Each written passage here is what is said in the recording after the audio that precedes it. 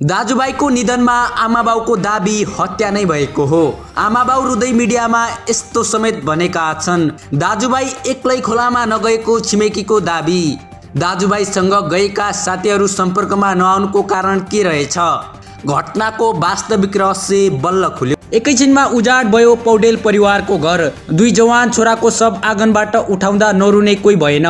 विवाह गरेको दुई महिनामै श्रीमतीको पनि पुछियो सिन्दुर। खोलामा जाँदा दुई दाजुभाइ मात्र नभएर अरू साथी पनि रहेको खुलासा।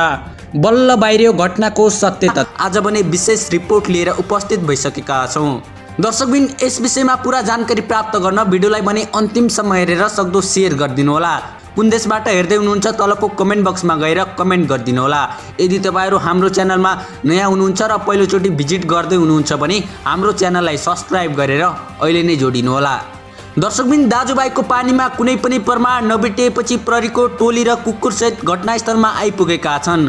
तालिम प्राप्त जोजो नामको कुकुरसहित प्रहरी घटनास्थलमा आइपुगेपछि तिनवटा सर्ट फेला परेका छन्। उक्त सर्टहरू छोराहरूको नभएको बुवाको दाबी रहेको छ। दर्शकबिन प्रहरीले अनुसन्धान गरिसकेपछि उक्त ठाउँ निकै खतरनाक भएका कारण कुनै पनि मान्छेलाई त्यहाँ नजान प्रहरीले आग्रह गरेका छन्। सोही ठाउँमा एक वर्ष पहिले एकजना महिलाको निधन भएको खबर प्राप्त भएको छ। घटनाको अनुसन्धान गर्दै जाँदा दाजुभाइले उक्त खोलामा कसैले बोलाएर विवश रूपमा हत्या गरेको हुन सक्ने प्रहरीको प्रारम्भिक अनुसन्धानबाट खुलेको गरेको छ। दाजुभाइको हत्या गरिसकेपछि हतार हतार सर्टहरू बिर्सिएको हुन सक्ने प्रहरीको दाबी रहेको छ। दर्शकबिन प्रहरीले हत्यारालाई जसरी पनि पत्ता लगाएर मृतकका परिवारलाई न्याय दिने प्रहरीले भनेका छन्। घटना शङ्कास्पद भएका कारण तालिम प्राप्त जोजो नामको कुकुरले अर्कै किसिमको हरकत गर्दा सबै चकित परेका छन्। घरमा कसैलाई पनि नबताइकन खोलामा जानु खोलामा दुवैजनाको मोबाइल नभेटिनु तिनवटा सर्टहरू घटनास्थलमै भेटिनु नुहाउने साबुन घरबाट लगेका थिएनन् तर घटनास्थलमा चारवटा साबुन भेटिनुमा ठुलो रहस्य रहेको प्रहरीको भनाइरहेको छ। दर्शकबिन शङ्काको विषय यो छ कि दुईजना मात्र भएको ठाउँमा चारवटा साबुनको के काम थियो त? यस विषयमा ठुलो शङ्का उत्पन्न भएको छ। दर्शकबिन मृतकका बुवाको दाबी सत्य रहेको छ। दुईजना दाजुभाइको विवश रूपमा हत्या भएकै हो। दर्शकबिन छोराहरू निकै सोझा र इमान्दार थिए। एकैछिनमा उजाड भयो पौडेल परिवारको घर। दुई जवान छोराको सब आँगनबाट उठाउँदा नरुने कोही भएन। विवाह गरेको दुई महिनामै श्रीमतीको सिन्दुर पुछियो। गएको सोमबारदेखि बेपत्ता भएका एकै घरका दुईजना दाजुभाइ मृत अवस्थामा फेला परेका छन्।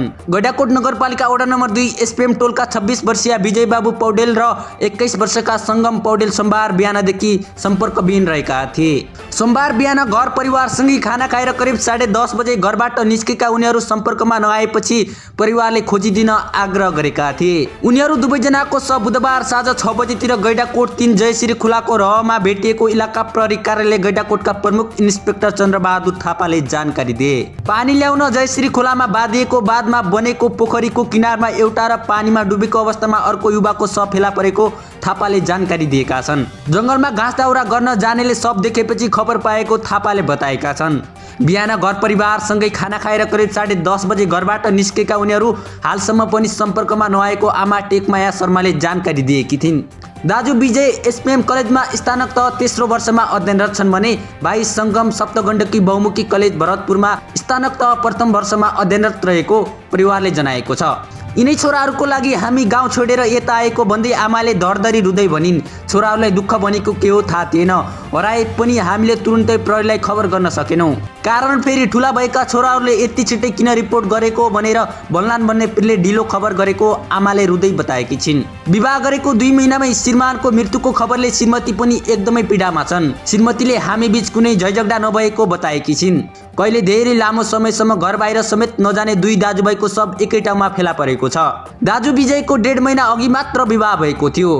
निकै अप्ठ्यारो ठाउँमा पोखरी में दुईजना मात्र जान नसक्ने भन्दै उनीहरूको ज्यान लिएको हुन सक्ने आशंका परिवार ने घटनास्थल को अवस्था छोरा स्वभाव लिएर परिवारले घटनास्थल एकदम रहस्यमय भएको का सदस्य सदस्यको चाहना अनुसार पोस्टमाटम भी दुईपटक कतिपय घटनामा पोस्टमार्टम रिपोर्ट सही नआउने उदाहरण आफूहरूले देखेका कारण दोस्रो पटक पनि पोस्टमार्टम गर्न आग्रह गरिएको बुवाले बताएका छन्। पोस्टमार्टम पछि विजय र सङ्गमको सब घरको आँगनबाट उठाएर अन्तिम संस्कारको लागि लाँदै गर्दा सिङ्गो गाउँ शोकमा डुबेको थियो भने त्यहाँ भेला भएका आफन्त र गाउँलेको आँखामा आँसु समेत देख्न सकिन्थ्यो।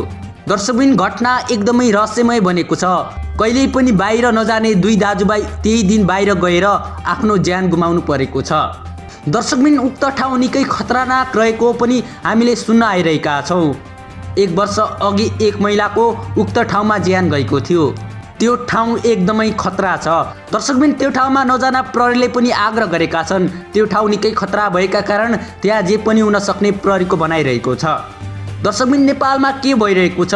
दिन प्रतिदिन हत्या हिंसा बलात्कार जस्ता जघन्य अपराध भइरहेका छन्। दर्शकबिन हाम्रो देशमा यस्ता घटनाहरू किन भइरहेका छन्?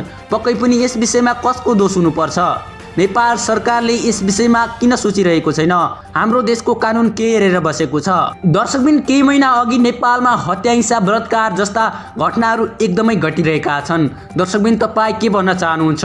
यस भिडियोप्रति तपाईँका कुनै सल्लाह र सुझाव भए तल कमेन्ट बक्समा लेखिदिनुहोस्।